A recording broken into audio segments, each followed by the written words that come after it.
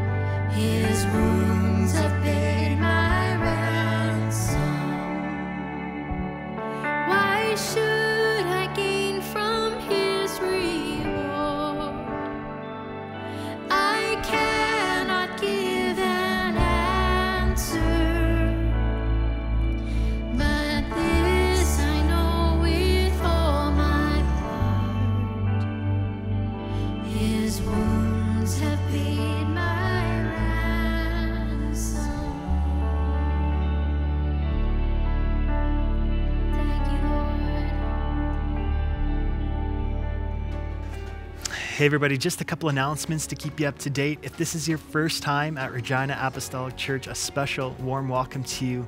Hey, if you're with us online, check out www.reginaap.com. Click the I'm New button for ways just to get connected into the life of RIC. If you're with us in person, hey, grab the Connect card out of the chair in front of you, fill that out with your information, and drop that off at the reception desk. We'd love to give you a gift. Thanks again for being with us. Friends, if you're interested in sowing into the mission of Regina Apostolic Church, there's multiple ways you can give. Check out www.reginaap.com slash give for all the electronic methods. There's also an offering slot at the reception desk. Thank you for sowing into all that God is doing here and, and allowing us to create more resources like this. We are truly grateful.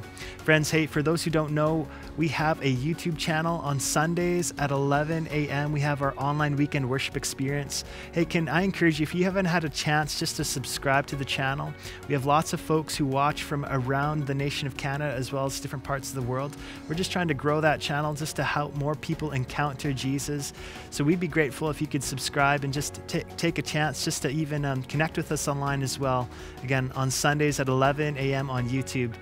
Friends, in our last announcement, hey, we're in prayer for Kettleston Gospel Camp. This week coming up is Second Family Camp. We have Danny DeLong who will be with us, as well as Dale Anderson from Calgary Full Gospel. Just love those two guys. They're going to be speaking.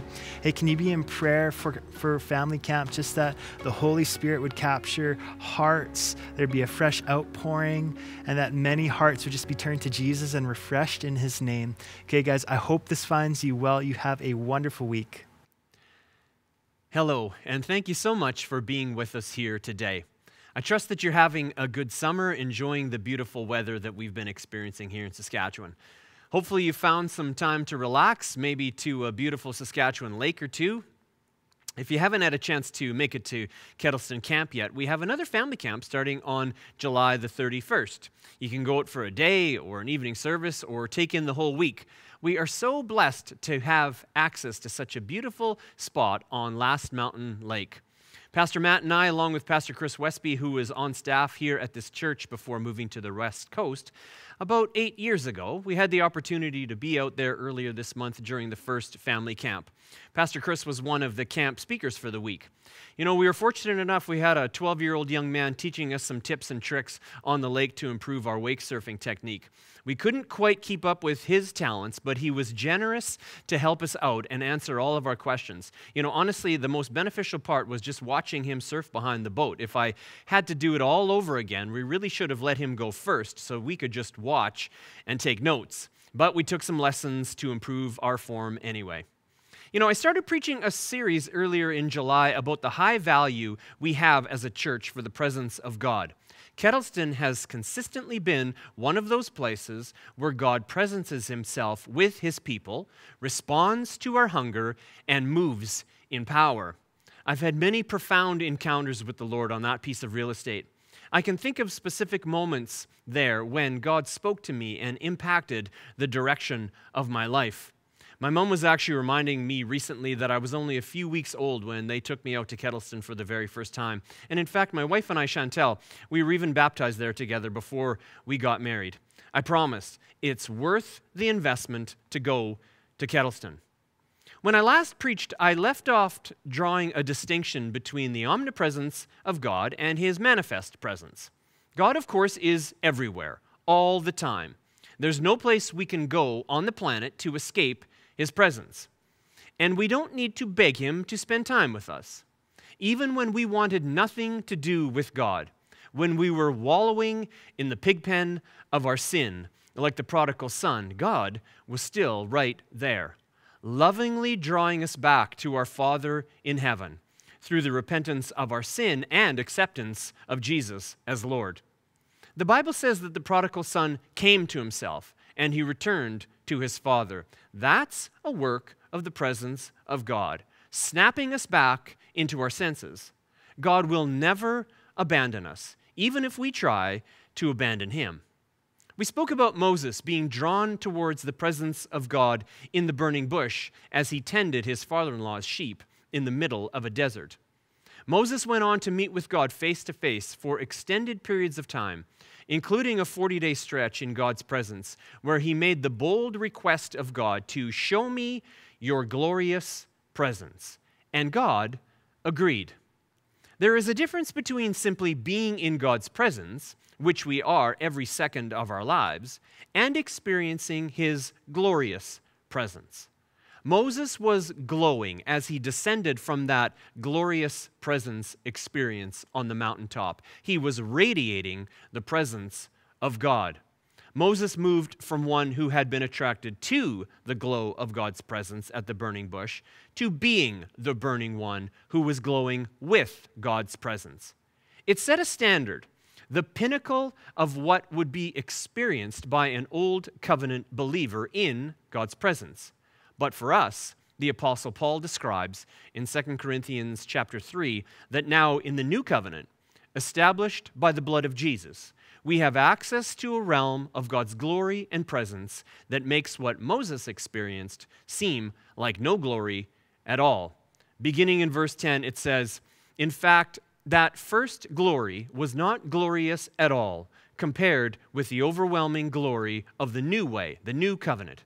Then in verse 13, we're not like Moses, who put a veil over his face, so that the people of Israel would not see the glory, even though it was destined to fade away. And finally, in verse 18, so all of us who have had that veil removed can see and reflect the glory of the Lord. And the Lord, who is the Spirit, makes us more and more like him as we are changed into his glorious image. You know, the idea that we can experience God's glorious presence to such a level that it makes the experience of Moses seem like no glory at all sounds almost too good to be true. It's almost unimaginable. It might even sound a bit arrogant. You might think to yourself, like, really? Little old me? I can experience something that Moses couldn't? But the reality is, if it sounds arrogant to us, it's probably an indication that we aren't adequately valuing the power of the death and resurrection of Jesus and the outpouring of the Holy Spirit.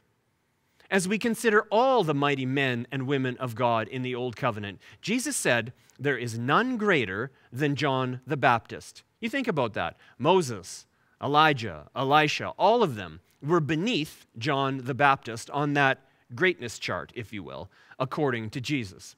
But he says, the least of us living now who have accepted Jesus as Lord in the new covenant are greater than John, who, although had a very prominent role in the Gospels, John was still very much an old covenant prophet. Jesus said it in Matthew 11 11. I tell you the truth, of all who have ever lived, none is greater than John the Baptist. Yet, even the least person in the kingdom of heaven is greater than he is. So it's not arrogance, it's rightly understanding what we have access to thanks to Jesus, including the ability to partner with God in our prayers for his kingdom to come and his will to be done on earth as it is in heaven. It's not humility to think less of ourselves than God thinks of us. I can't afford to entertain a view of myself that is different from how God views me. It would undermine the partnership He has planned to see His purposes accomplished through me and through you. Jesus paid too high a price at Calvary for us to live as though an old covenant example will be the high point for our lives. Because of Jesus, we have access to a life in God that old covenant believers only dreamed about where Moses had an experience in the glorious presence of God that resulted in the glow of God radiating, radiating from his face, but already fading the very next moment, we have access to the Acts 2 day of Pentecost experience, to have the Holy Spirit resting upon us as a tongue of fire descended on each believer that day. Instead of looking for a burning bush in a desert, we become the burning ones with the Spirit of the Lord God upon us and radiating from us. Today, as we consider what it's meant to look like in day to day practice to have the Spirit of the Lord God upon us or the presence of God upon us, Jesus is our model. He is the perfect prototype. He set the preeminent pattern to follow. We know, of course, John the Baptist was baptizing people in the Jordan. The people would repent of their sin, and then John would baptize them. It was a baptism of repentance. And he prophesied of Jesus. John said to the people, I baptize you in water, but there's one coming who is greater, who will baptize you with the Holy Spirit and with fire. And then, according to that prophecy, Jesus came down to the river and asked John to baptize him. We know that Jesus didn't need to be baptized. He had nothing to repent of. And in fact, John actually tried to talk Jesus out of it and suggested that Jesus baptize him. We pick up that story in Matthew 3 and verse 15. But Jesus said, back to John, it should be done, for we must carry out all that God requires. So John agreed to baptize him. After his baptism, as Jesus came up out of the water, the heavens were opened and he saw the Spirit of God descending like a dove and settling on him. And a voice from heaven said, This is my dearly loved Son, who brings me great joy.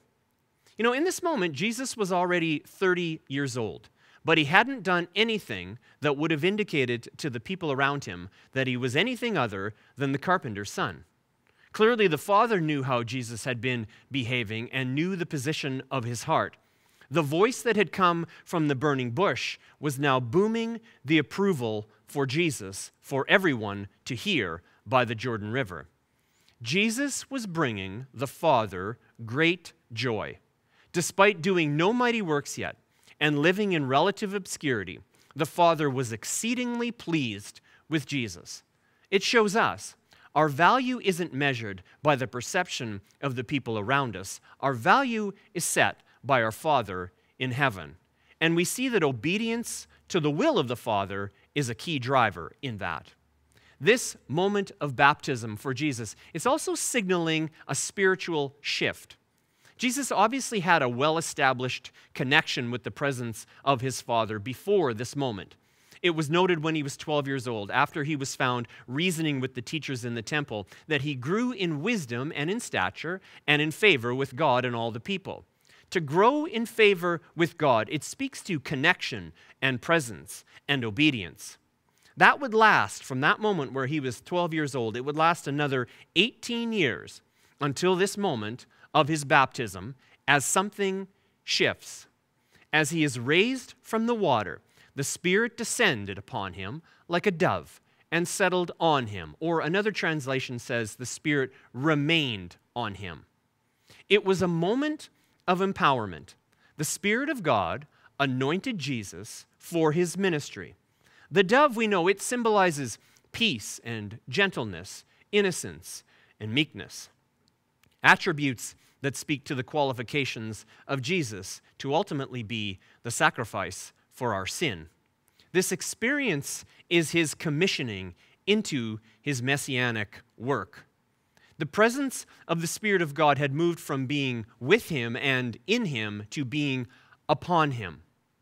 Have you ever wondered? You know, I thought about it as I was processing through this sermon. Have you ever wondered why didn't God arrange for Jesus just to die as the sacrifice for sin immediately following this moment? You know, I think he was more than qualified to be the sacrifice by this point. He had put in three solid, sinless decades. And as we're about to see, God drives Jesus into the wilderness to be tempted by Satan. He was anointed with the Holy Spirit upon him and then was driven into the wilderness. Although it's not documented, it stands to reason that Jesus had been tempted to sin like every human being is in those first 30 years of his life, but he was sinless. Almost as though to confirm his qualifications, he was tempted in the wilderness for the next 40 days, in the same way the first Adam was tempted. Now, Jesus, as the last Adam, resists every temptation to sin. When you think about the fall of man in the Garden of Eden, there were really, you know, four characters involved God, Adam, Eve, and Satan. Again, we could have four people present in this moment as well, in this sequence God the Father, Jesus, still here in the form of the Son of Man, Satan, and we could throw in John the Baptist for good measure. If four people was enough in the fall of man, wouldn't four have been enough for a redemption moment? Why didn't God just arrange for Jesus to be sacrificed right then and there? Hadn't he already cleaned up the mess that Adam had created? You know, I think he, he had. He could have immediately died and rose again three days later. John the Baptist and his followers could have been the witnesses to go and proclaim the good news. If it was only about making a way for us to have eternal life in heaven, then this could have been the end of Jesus' story on the earth. But the value for being in God's presence is not just a promise to be fulfilled one day in heaven. Certainly, that's the ultimate promised land for us as believers, the perfect destination. But there is a reason why this wasn't the end of the road for Jesus. In the same way that once we become Christians, that it's not the end of the road for us either. God just doesn't kind of take us to heaven once we become Christians. Because it's not all about heaven. Part of God's gracious gift to us includes experiencing His blessing on this planet that He created for us, to experience His empowering presence on the earth. Jesus, he exits the wilderness of temptation, successfully resisting all that Satan had thrown at him. But rather than being the sacrifice for sin, as though it was the end in that moment, he instead started his ministry that would last another three and a half years until the crucifixion. The Spirit of the Lord coming upon Jesus was the launch point for his ministry on earth. The presence of God isn't simply meant to be something that we behold in a passive way, but his presence is empowering as the fuel to produce the transformation this world requires. Which begs the question specifically what then should it look like? What does it mean to be empowered? How should the transformation appear? How will I know? How will you know if we are living up to the standards set by Jesus with the presence of the Spirit upon us? You know, I really believe, this is just Jim's personal opinion on this, I believe too often in Pentecostal circles, we have this ideal of what the presence of God in our midst will look like. And typically, those expectations steer towards goals like speaking in tongues or powerful worship services or manifestations of the Spirit, like people falling at an altar, which, by the way, I love all of those things. I love when God is authentically moving, that his presence is at work in our midst in that way. You know, I told you the story the last time I preached about being in a service where we could see the manifest presence of God that appeared like gold dust in the air. Listen, it was a lot of fun, and if I had the choice between gold dust or no gold dust in a service, I'd choose the gold dust every time. Maybe that, when you hear that, that seems a bit too extreme for you. You'd be more comfortable that instead of gold dust, it was a dove descending upon us, like feathers floating in the air and actual birds coming down. I mean, that's clearly what we just read happened to Jesus, so it, it would certainly be a biblical model. But all of those things, even the dove on Jesus, are merely symbols or signs that point to a greater reality the reality of the presence of God Himself that can rest upon us. We don't worship the sign, we worship the one the sign points to. Jesus goes from that experience with the presence of God upon him to demonstrate how our lives should look after the Spirit of the Lord comes to rest upon us as well. After his baptism and his temptation in the wilderness, his ministry begins, and he gives what could be referred to as his inaugural address in the temple in Luke chapter 4, beginning in verse 16. It says, And he came to the village of Nazareth, his boyhood home. He went as usual to the synagogue on the Sabbath and stood up to read the scripture. The scroll of Isaiah the prophet was handed to him. He unrolled the scroll and found the place where this was written The Spirit of the Lord is upon me, for he has anointed me to bring good news to the poor. He has sent me to proclaim that captives will be released, that the blind will see, that the oppressed will be set free, and that the time of the Lord's favor has come. If we're wondering what a revelation of God's glorious presence will look like and how our lives should appear with the Spirit upon us, verse 18 should inform our expectations, bringing good news to the poor, including those who are poor in spirit, captives released, ministering physical healing, and the oppressed being freed. We are unable to accomplish those things by our own brute force and determination, but with His presence upon us, we are empowered to accomplish those impossible tasks. You know, even as we consider speaking in tongues like they did in Acts chapter 2, which we believe as a church is the initial evidence of being baptized in the Holy Spirit or having the Spirit of God come upon us, we need to see it as a sign that points to the Spirit of God Himself upon us, empowering us to accomplish verse 18 type things. It's not the end of our journey any more than it was the end of the journey of Jesus when he had the dove on his shoulder. The dove wasn't the end point, and neither is tongues. Tongues to me are like going to the gas station to fill up my car with premium fuel to make the 300 horsepower German engine roar. The evidence that it has been filled is the gas gauge on the dash. But I don't sit there staring at the evidence, satisfied with the knowledge that I have a full tank. the point of the fuel is to empower the car to accomplish the purpose for which it was created. The effect of the Spirit being upon me is to be a burning one with the fire of God upon me. And maybe you've heard the old joke about the presence of God coming upon us. It's like a good pair of shoes. They're created for walking, and they throw in the tongues for free. We are empowered by His presence. The Spirit is in me for me. When I accepted Jesus as my Savior, the Holy Spirit was set on my heart as a seal of my salvation. Ephesians 1, beginning in verse 13, says, In him you also, when you heard the word of truth, the gospel of your salvation, and believed in him, were sealed with the promised Holy Spirit, who is the guarantee of our inheritance until we acquire possession of it, to the praise of his glory. We are signed, sealed, and will one day be delivered into heaven. I don't have to be eternally insecure. My identity as a son and my guarantee of heaven is sealed. The presence of the Holy Spirit is in me for me. The presence of the Holy Spirit upon me, though, is for those around me, for the world around us, to set captives free, to restore sight to the blind, and liberate the oppressed. There's a reason why we're all still here on this planet, why we haven't been taken to heaven yet. We're meant to radiate the light of Christ into this dark world. The Holy Spirit is in every believer then, but he does not rest on every believer. It is a subsequent experience after salvation, like happened on the day of Pentecost, where they were empowered by the presence of God to minister as Jesus had ministered after his empowerment, after his baptism.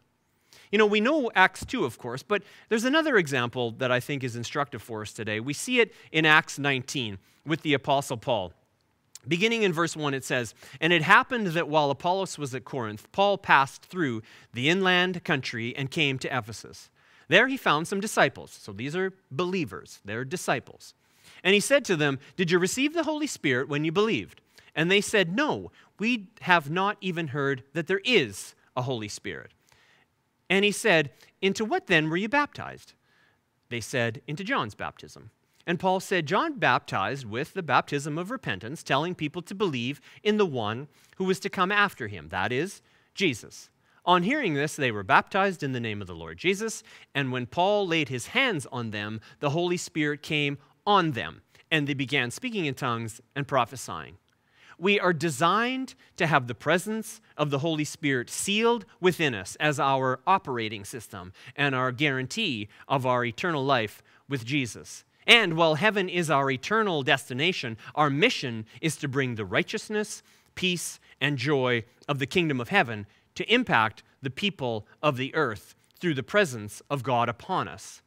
As we behold him, we are transformed into his image, including the image of his ministry, which is described so succinctly for us in Acts 10:38. God anointed Jesus of Nazareth with the Holy Spirit and with power. He went about doing good and healing all who were oppressed by the devil, for God was with him. You know, as we close today, I want to pray for an outpouring of the presence of God upon you and upon myself today. I can't make you want it, I can't force that upon you. But if you ask for the Spirit to come upon you, He will. He responds just like He did, as I mentioned at Kettleston. As, he, as we come hungry, He responds to our hunger. You can be sure that if you ask for the Spirit, you're going to receive the Spirit. You know, if you've ever felt powerless or purposeless, purposeless, we can agree together for the Spirit of God to descend upon you today to fill you with His power and to give you His purpose. Wherever you are today, if you want to receive the Holy Spirit upon you, let's just pray together. Father God, we love you. Jesus, we're so thankful that you died on the cross for our sins. And Holy Spirit, we honor your presence with us that will never leave us or forsake us. Even when we're unaware of your presence, you're still right here with us. I just pray that you would descend upon us today, Holy Spirit. Empower us for the good works that you have planned for us, that we would be bold witnesses for you to declare the truth of Jesus and steward your power to minister to all who are oppressed. I just thank you, God, that we're, we're living in a day that our old covenant forefathers dreamed about and prayed about. We don't take it for granted, and we don't want to live beneath the high calling, Jesus, that you have for us. I just pray that from the very youngest child that would make this request to the very oldest, that there is not a point in time in life where we've missed it, that there is something in this season of our lives, regardless of what our birth certificate says. That there is no junior Holy Spirit for the kids, and there's not sort of a retirement version of the Holy Spirit either on the other end. That you have a full measure of your Spirit and power to descend upon each of us today. Come, Holy Spirit. Just come and rest upon us.